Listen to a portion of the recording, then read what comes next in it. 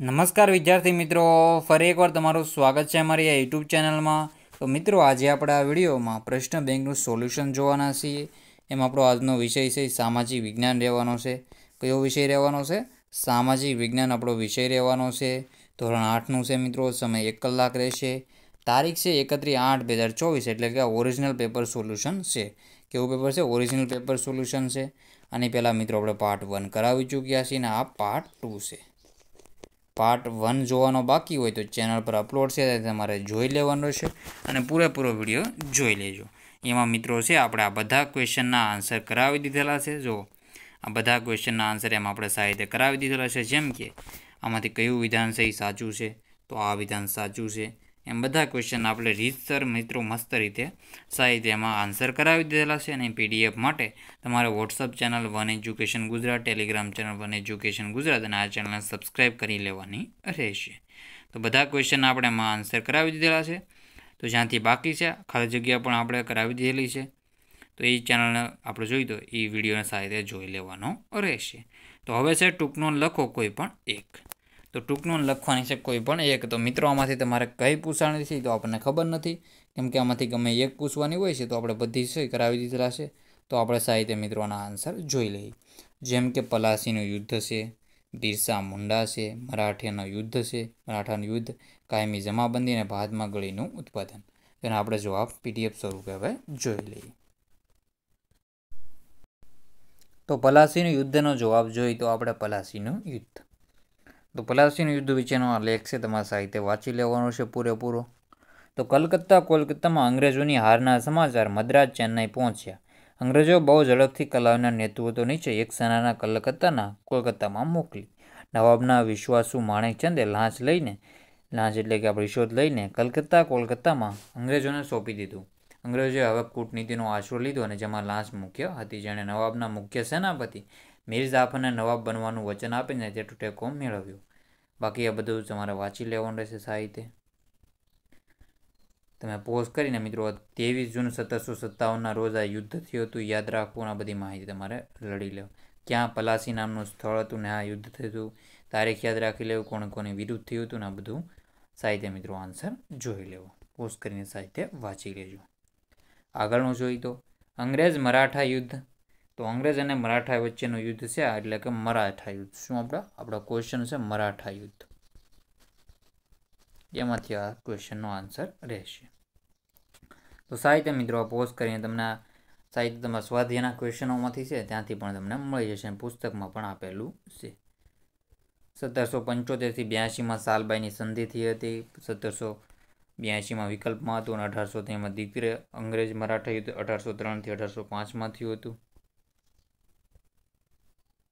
અને આ તૃતીય મરાઠા યુદ્ધ છે, સત્તરસો સત્તર અઢારસો ઓગણીસ સુધીમાં થયું હતું. પછી બિરસા મુંડા વિશેની માહિતી છે, સાહિત્ય મેં વાંચી લેવી, ક્યારેનો જન્મ થયો હતો? પંદર નવેમ્બર અઢારસો પંચોતેરમાં. તો આ બધી માહિતી તમારે સાહિત્ય વાંચી લેવી, જોઈ લો.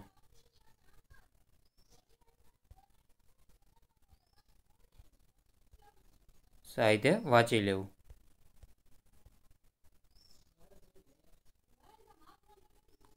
અંગ્રેજ સત્તાના હિમાયતે આ બધું મિત્રો વાંચી લેજો, સાહિત્ય પોસ્ટ કરીને વાંચી લેવું.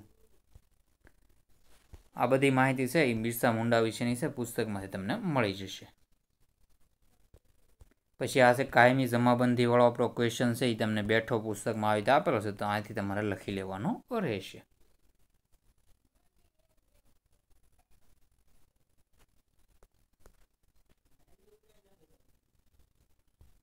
પછી છે ગળી તો ગળીનું આ છે ઉત્પાદન વિશેની, ગળી વિશેની માહિતી બધી વાંચી લેવી પુસ્તકમાંથી. તમને સીધું સ્ક્રીનશોટ છે, તો ત્યાં જોઈ લેવાનું રહેશે. તો ફરીથી આપણે ક્વેશ્ચન તરફ આગળ વધીએ હવે. તો આપણે આ બધા ક્વેશ્ચનના આન્સર મિત્રો જોઈ લીધા છે, જેમ કે પલાસી, બિરસા મુંડા, મરાઠા યુદ્ધ, કાયમી જમાબંધી ભારતમાં ગળીનું ઉત્પાદન. તો સાહિત્ય તમારા આન્સર જોઈ લેવાનું છે, પાંચ ગુણ મેળવવાના રહેશે. બાકી હવે આપણે આગળ વધી જઈએ માગ્યા મુજબ જવાબ લખો. તફાવત આપો. કુદરતી સંસાધનો અને માનવ સંસાધનો. તો કુદરતી સંસાધનો અને માનવ સર્જિત સંસાધનો વિશેની માહિતી તો વર્ગીકરણ કરવાનું છે. જંગલો, ખનિજ તેલ, સૂર્યપ્રકાશ, પરમાણુ, ખનિજો. નવીનીકરણીય સંસાધન બિન નવીનીકરણીય સંસાધન. આ તમારે જાતે મિત્રો તમને પુસ્તકમાંથી બેઠું આપેલું છે એટલે ત્યાં ત્યાંથી લખી લેવું અને આપણે આના આન્સર કરાવી. દો જંગલો. તો જંગલોમાં આપણે શું આવશે?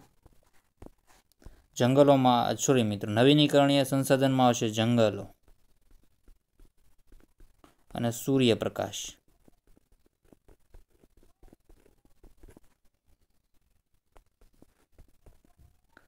પછી છે, બિન નવીનીકરણીય સંસાધનમાં ખનિજ તેલ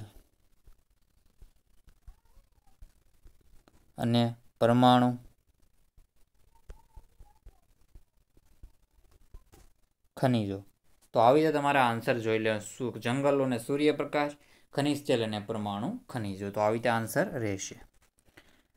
તો જોઈ લો. આગળના ક્વેશ્ચન મિત્રો હવે આપણે જોઈ લઈએ. અર્થ સમજાવો એકલ કે દુર્લભ સંસાધન. તો એ અર્થ સમજાવવાનું છે એકલ કે દુર્લભ સંસાધન. તો એકલ સંસાધન, તો એવું એવું સંસાધન સમગ્ર વિશ્વમાં. સમગ્ર વિશ્વમાં જ્વલેજ જ્વલેજ એક બે જગ્યાએ, એક કે બે જગ્યાએ મળી આવે. જેમને આપણે જોઈએ તો ક્રાયોલાઇટ છે. ક્રાયોલાઇટ એ ક્યાંથી ગ્રીનલેન્ડમાંથી મળી આવે છે? તો આવી રીતે આનો આન્સર રહેશે. એ આ તમને પુસ્તકમાંથી પણ બેઠું મળી જશે. તો સાહિત્ય આવી રીતે તમારે કરી લેવાનું રહેશે. ક્રાયોલાઇટ આવી રીતે મિત્રો અહીં આવે. પછી છે તફાત આપો, પુનઃપ્રાપ્ય સંસાધનને પુનઃ અપ્રાપ્ય તો પુનઃપ્રાપ્ય થઈ શકે એવા સૂર્યપ્રકાશ છે. પાણી છે બધું આપણે જોઈએ તો એ છે, આમાં ખનિજો છે પુનઃ અપ્રાપ્ય છે, કોલસો છે, ખનિજ તેલ છે, આ બધું આન્સર રહેશે. વર્ગીકરણ કરો. કુદરતી સંસાધન, તો કુદરતીમાં આવશે ઊર્જા સ્ત્રોતો. ઊર્જા. ઊર્જા સ્ત્રોતો. ઊર્જા સ્ત્રોતો આમાં આવશે પુલ, બોગદા અને ખનીજો. તો આવી રીતે આમાં જવાબ રહેશે. સાહેબ આ જોઈ લેવો આન્સર માનવ સર્જિતમાં ખનીજો, પુલ, બોગદા, ઊર્જા અને સ્ત્રોતો ઊર્જા સ્ત્રોતો છે, આમાં જવાબ રહેશે. પાછું ખનીજો આપણે આમાં કરી શકીએ. ખનીજોમાં આપણે આમાં ખનીજો આમાં લખી શકીએ. કુદરતી સંસાધન. ખનીજો કુદરત બને છે. આ પુલ અને બોગદા માણા બનાવે ને કુદરતી સંદર્ભમાં ખનિજો અને ઊર્જા સ્ત્રોતો આન્સર રહેશે. તો આવી રીતે મિત્રો તમારે જવાબ રહેવાનો રહેશે. આગળના ક્વેશ્ચન છે હવે, તળાવ અને સરોવરને પાણીની સંગ્રહણ ક્ષમતા વધારો. સ્વાધ્યાયમાં તમને પ્રશ્ન જવાબ ચોથા પાંચમા નંબરનો ક્વેશ્ચન મળી જશે. પછી છે જોડકા જોડવ એક જ સંસાધનમાં ક્રાયોલાઇટ અને વિરલ સંસાધનમાં શું આન્સર રહેશે? તો વિરલ સંસાધનમાં આપણો આન્સર રહેશે. ગોચર ભૂમિ છે વિરલ સંસાધન કે યુરેનિયમ? તો યુરેનિયમ આપણો આન્સર રહેશે એમાં. શું આન્સર છે? યુરેનિયમ. તો આવી રીતે તમારે જવાબ દઈ દેવાનો રહેશે. સૂર્યપ્રકાશ એ ખાલી જગ્યા સંસાધન છે. તો એ કેવું સંસાધન છે? તમારે જવાબ દેવાનો રહેશે. પૃથ્વીના ગોળાનું નિરીક્ષણ કરતાં જણાશે કે લગભગ કેટલા ભાગ પર પાણી અને કેટલા ભાગ પર ભૂમિ છે. તો ત્રણ ભાગ ઉપર પાણી છે ને એક ભાગ ઉપર ભૂમિ છે. એમ કહી શકાય. વર્ગીકરણ કરો. ભૂ, ભૂતાપીય ઊર્જા, અણુ ઊર્જા, જૈવ ઇંધણ, અશ્મિભૂત બળતણ અક્ષયશીલ અક્ષયશીલ સંસાધન અને ક્ષયશીલ સંસાધન. તો તમારા મિત્રો જાતે કરવાનું રહેશે પછી આ ખરું છે કે વિધાનના આન્સર તમારે આપણે જોઈ લઈએ હવે.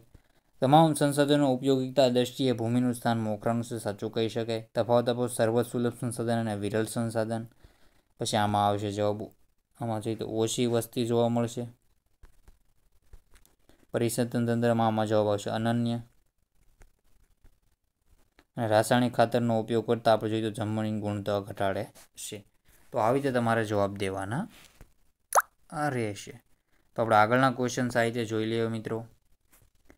પછી છે નીચેના પ્રશ્નોના એક બે વાક્યમાં જવાબ લખો. બંધારણ એટલે શું? તો બંધારણ એટલે શું? આપણે મોડલ પેપરમાંથી ક્વેશ્ચન તમારા આન્સર જોઈ લેવો બંધારણ સભામાં કુલ કેટલા સભ્યો હતા? તો આ પણ આપણે કરાવ્યો હતો. એમાં જવાબ આવશે ત્રણસો નેવ્યાસી હતા. બંધારણ સભાના કોઈ પણ બે સભ્યનું નામ લખો. જવાહરલાલ નહેરુ અને ડૉક્ટર બાબા સાહેબ આંબેડકર. એમ તમે લખી શકો. બંધારણ સભાના અધ્યક્ષ હતા ડૉક્ટર રાજેન્દ્ર પ્રસાદ. ડૉક્ટર રાજેન્દ્ર પ્રસાદ હતા. બંધારણના ઘડતા કુલ કેટલો સમય લાગ્યો તો બે વર્ષ લાગ્યા હતા. અઢાર મહિના. અને આપણે જોઈએ તો અગિયાર દિવસ. તો આવી રીતે આન્સર રહેશે. સોરી મિત્રો, અહીંયા આવશે. બે વર્ષ, અગિયાર મહિના, અઢાર દિવસ. તો આવી રીતે આન્સર રહેશે.